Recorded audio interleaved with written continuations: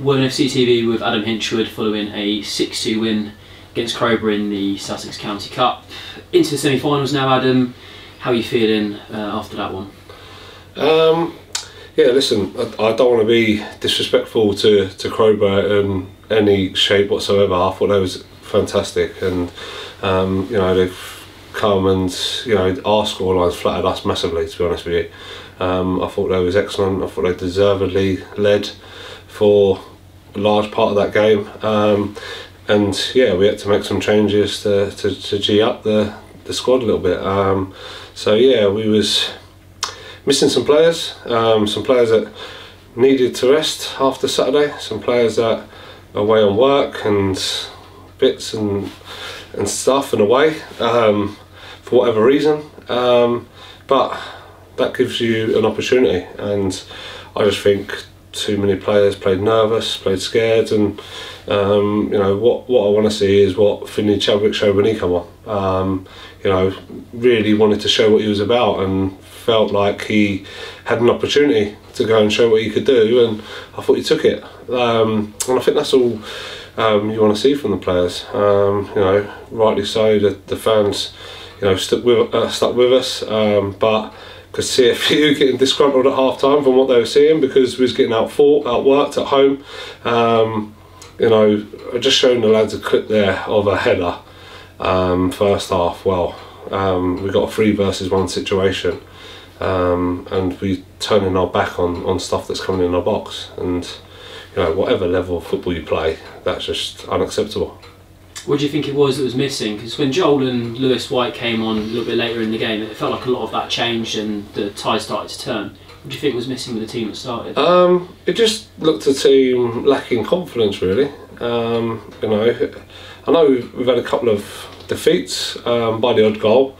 Um, we conceded a lot of goals at home on, on Saturday, so obviously you expect their confidence to be hit a little bit. But you know, there was still some changes made. Um, you know, Carl's come in and, and done done well, or done okay at left back. Um, uh, JB's come in. You know, he's been at the team for a long time, and you know, um, Joel and Ruben have been playing fullbacks and, and doing well and keeping them out of the team. And you know, you're looking for um, something from him to go and show what he's all about. Um, it just seemed like a, a, nervous edge to us, and uh, we, we definitely lacked leaders and, and characters, and, and, maybe when Joel comes on, um, you know, that's why I made him captain because I think he just leads by example. Um, you know, he has a real determination, no matter what he's doing, whether he's training, whether he's playing, that he doesn't want to doesn't want to lose, and we need a few more with that kind of mentality.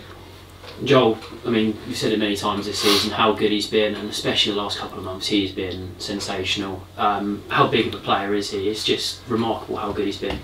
No, yeah, he's, he's really performing at a, a top level at the moment. Um, you just watch our highlights, and you know, it looks like um, your instant replayer trying to get Joel a move because. Uh, you know, it just seems to be him his highlight reel at the moment. So him putting the ball over the top and getting assists. So no, he's been he's been excellent. He's been first class, and you know you want him to keep on going in that vein, and hopefully he drags one or two uh, with him and a bit more bit more quality out of one or two. But um, no, yeah, it's, it's pleasing. Liam got some more minutes under his belt, uh, a little bit longer today.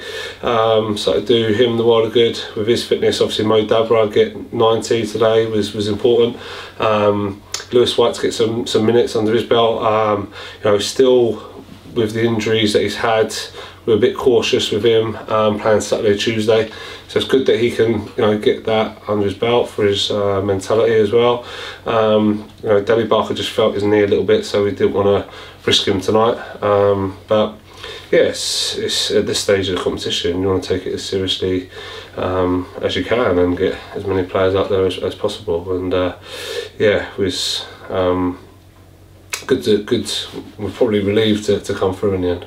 Remiss of us to mention Ibi Akanbi tonight as well. Uh, four goals from the end, although one might have been an own goal, but we'll uh, yeah. we'll keep that to one side. Um, but for Ibi, he's not started quite so many games recently, so how big could that be for his confidence? No, definitely, yeah, exactly. He's a he's a goal scorer. He, you know, wants to score goals. I think he'd be disappointed he's not got six. I think he had two glorious opportunities and he scores that one with his left foot um, at the end. You know, fantastic strike. But I think that just shows the quality that he's got. Um, and yeah, he'd have been frustrated, and, and, that's what you want. You want players to go and work hard and, and show what they're about um, when they're out the team. And um, yeah, we, I think we need a few more with that kind of mentality. But it do his confidence a while good. He's a goal scorer and he's got four goals, so he'll be definitely, hopefully. Um, you know, raring to go on and training on Thursday and, and doing all he can to, to try and start for Saturday. Awesome. Thank you, Adam. Cheers.